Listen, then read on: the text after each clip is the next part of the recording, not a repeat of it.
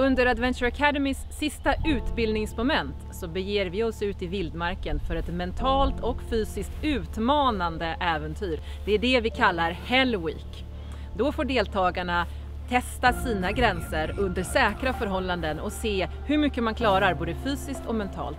Det är en väldigt bra övning inför sommarens äventyr såväl som för kommande utmaningar i livet.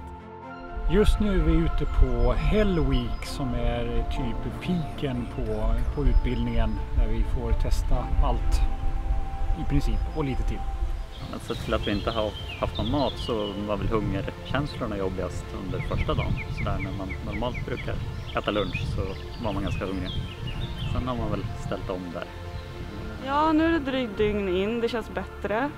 Eh, första väggen var verkligen det första dygnet men det var också mer liksom, fysisk ansträngning. Så. Eh, nu är det lite mer lågintensivt eh, och jag klarar det bättre.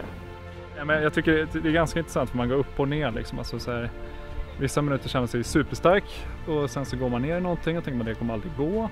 Sen så kommer en ny energi. Ja, det är rätt skönt att vara liksom, i strid mot, mot sig själv. Lite grann känna att det är jag som fattar besluten. Ansök till Adventure Academy. Det gör du på adventureacademy.se. Jag vill träffa dig.